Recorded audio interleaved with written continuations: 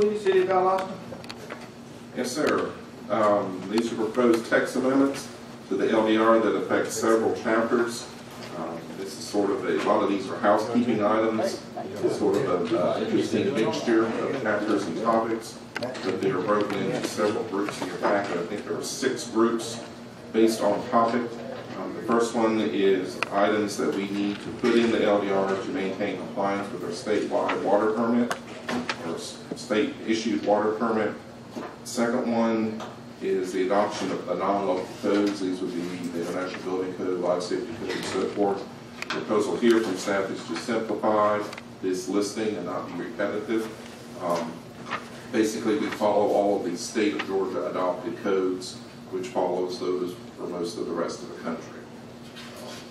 Amendment group number three has to do with zoning procedures. This is to clarify language as to what parts of the LDR um, that get amended if they are required to come through the planning commission for recommendation or not.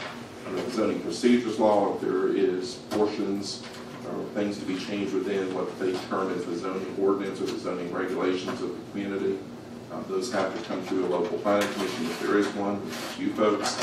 Um, That is Title II of the LDR. Um, Title III has other things, uh, more standards and specs, subdivision related. And Title I normally would be exempt from that, but also includes the definition section for the entire LDR. The language here is if it is in Title I or Title II, it needs to come through you all for recommendation. If it's in Title III, it's optional. Number four is transitional buffers. This is undoing an amendment that was adopted back in 2015.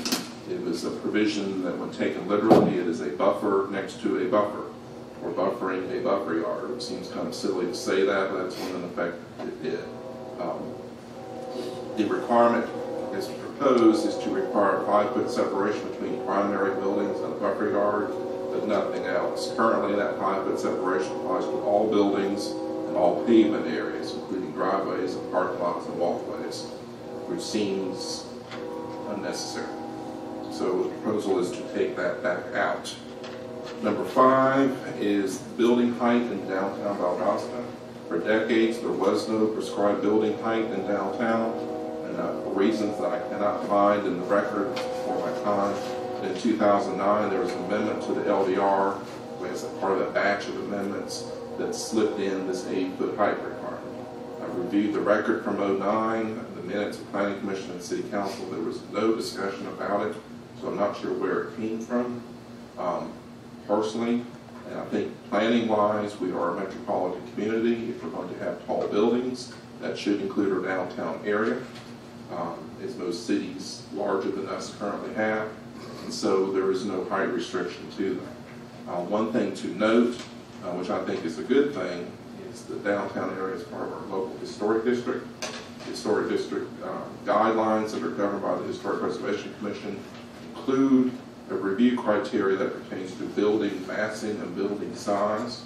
So if a development were to come into downtown Valdosta that is inappropriately out of scale with its surroundings, that's something that the Historic Preservation Commission can take into consideration. So it gets addressed that way rather than straight up zoning. Uh, we currently have um, two buildings in downtown that are over 100 feet tall, and I think that's just fine. Amendment number six is drive-through facilities, that is to simplify language there and also relax the standard a little bit. Um, Currently, for a drive-through restaurant, you have to have six stacking spaces.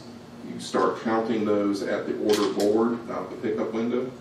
Um, As you all travel around town, not all drive-through restaurants are the same. In some cases, you order at the little order box, there are two cars in front of you to the pickup window. In other cases, there may be eight cars in front of you no restaurants operate the same. So the plan here is to simplify that and start the counting of six spaces at the pickup window.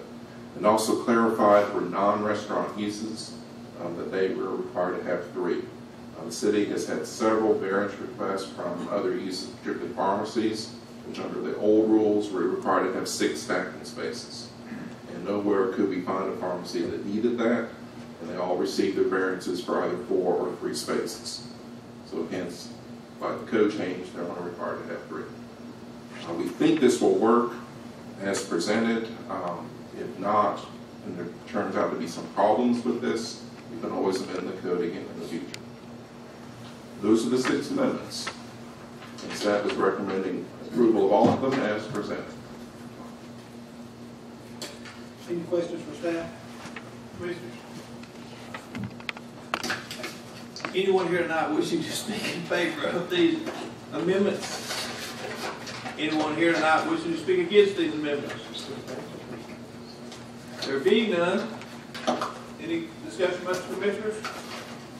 There being none, I will take a motion on this. Commissioner Wiles? I would like to make a motion to approve the We have a motion to approve. Have a second. Any discussion? All in favor, signify by raising your right hand. Thank you very much. Passes, Mr. Carmelo. On the way out.